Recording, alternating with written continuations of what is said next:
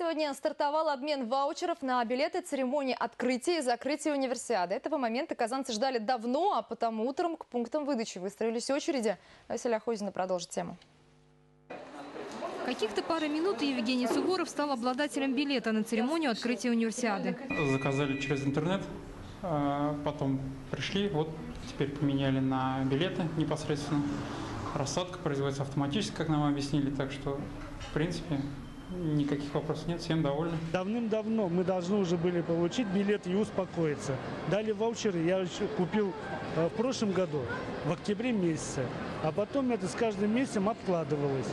И подкрались сомнения, я вообще получу их или нет. Вот каждый раз, каждый раз, когда поддержал, говорили потом, потом откладывается на месяц, там, на две недели, опять на месяц. И вот я сегодня стал счастливчиком, я получил 4 билета.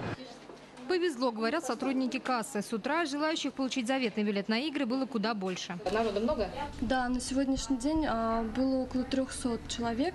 То есть мы уже спокойно, хорошо обменяли ваучерные билеты. Стараемся быстро обслужить, на самом деле, людей. А, то есть даже предлагаем кофе, чай, и все довольны, на самом деле.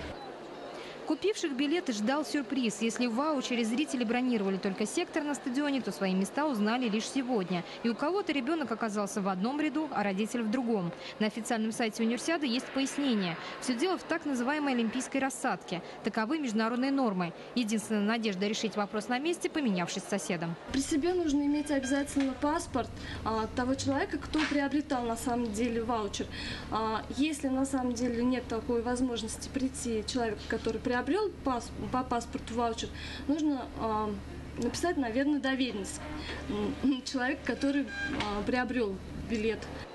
Обмен идет в кассе Международного центра в деревне Универсиады, в офисе на Толстого 1 и в двух крупных торговых комплексах столицы. Подробнее об адресах и часах работы пунктов можно узнать на официальном сайте игр. Василия Кузина, Рустам Садриев, Вести, Татарстан.